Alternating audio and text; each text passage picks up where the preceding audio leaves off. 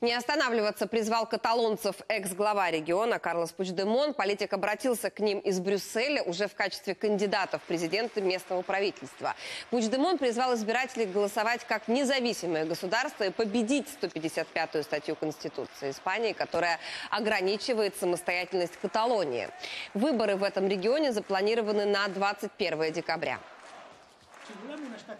Если мы хотим независимого государства, давайте голосовать. Давайте проголосуем как независимое государство. И тем самым победим пессимизм, победим всю дремучесть 155 статьи Конституции. Давайте поможем вытеснить страх с наших улиц.